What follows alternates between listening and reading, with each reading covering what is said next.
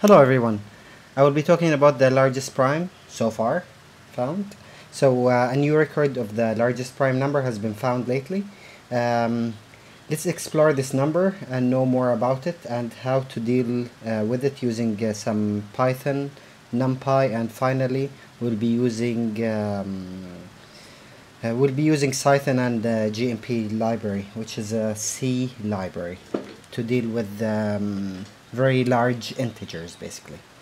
Uh, anyway, I will. Be, I'm importing in here um, NumPy math and um, date time just to uh, measure some uh, time um, that uh, some operations uh, takes. So um, this number was found uh, in 2016 this year using the um, Great Internet um, Mersenne Prime search GIMPS.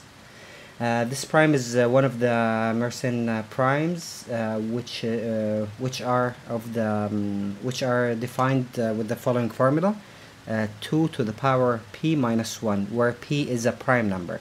This is a pseudo um, prime number, meaning not all uh, Mersenne prime numbers are primes.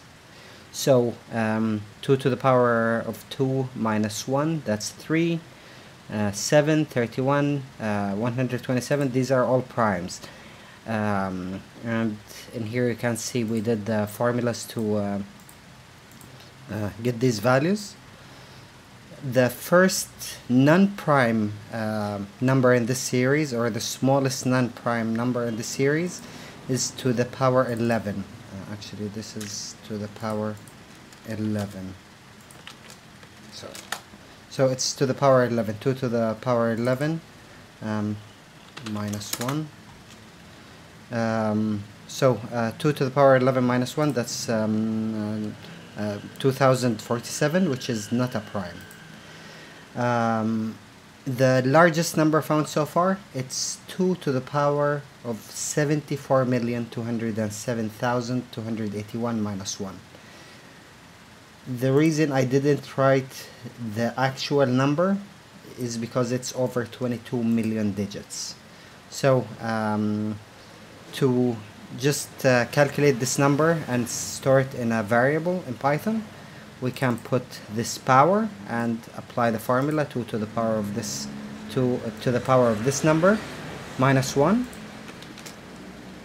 and you can see it took a little bit of time just to calculate this um, the way to test these um, numbers is using the Lucas-Lehmer test um, which uses the Lucas series which is 4, 14, uh, 37,664. The way this series works is you start by the number 4, then you apply this formula.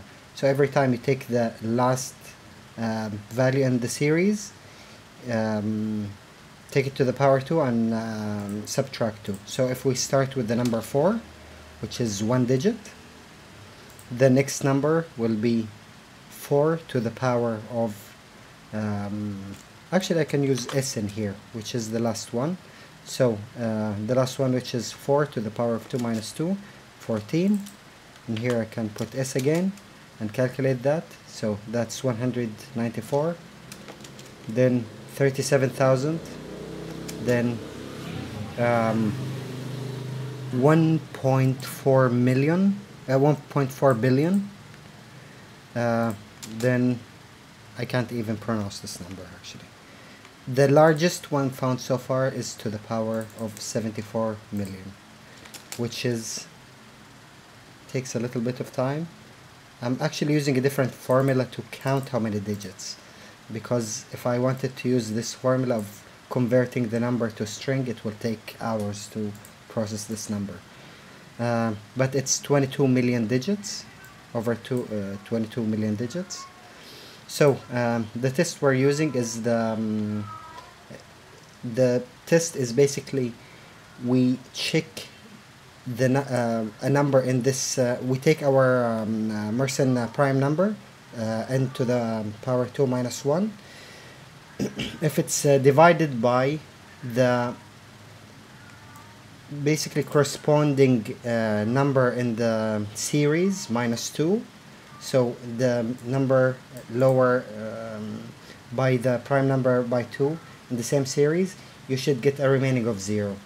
The problem with this series, it grows very large very fast. So if we want to go until 74 million, the, the, um, the number representing the um, 74 million position in the series, it will be a very, very large number that we cannot really handle.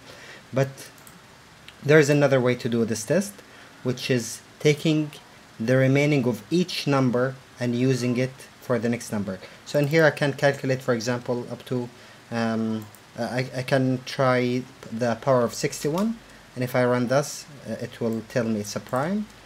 So if I um, just uncomment these numbers, um, it's, um, oh, okay, if I uncomment this, it will tell me each one of these numbers how many how much time did it take? And they're not taking much time to process. But if we try the actual number that we want to deal with and to test if it's a prime number or not you will notice something in here it goes really fast then you will see the time it takes for each one grows really fast. So in here we're already taking 300 milliseconds for number 20 it grew to 1.1 uh, second then 3 seconds. Then the next one uh, is almost 10 seconds. I think the next one is more than 1 minute. So this approach will not really work for us so let's stop this. Um, we can use Cython which is a um, an implementation of um, a language that uses um, uh, context very close to um, very close to um, Python, but it it's really really fast. The way it works is really really fast, and it uses C libraries and it converts this code to a very efficient C code. So um, in here, let's try um, 61 again and you can see it returned prime really fast. The problem with using C is um, we have a limitation of 64-bit numbers. So if we go any number beyond 64, um, 2 to the power of 64, it will overflow. So we cannot really use regular um, Python to, to do this code. So uh, in here I'm using um, um, the GMP library, which is a, a C library designed to deal with uh, very large numbers. Uh, I will not go into the um, uh, into explaining this code. It's basically this code, and it's the same as the Python code, but in uh, GMP library. Feel free to uh, check out the code. The link to this is in the description below. Um, and I run this code with the same power and I run it for almost 16 hours and I get to 17,000 so this will take this will process almost a thousand every hour. So to process 74 million that will take very very long time. Feel free to execute it on your machine and try to get it. It might take you a month actually to process the whole number. But um, anyway that's the code in uh, GMP if you want to run it on your machine I get to 17,000 and I had to stop it to actually record this video. Um, anyway um, I hope you like this and if you are interested in this code the this is all available on uh, github and it's available in nbviewer the link to it is in the description below. Thank you for watching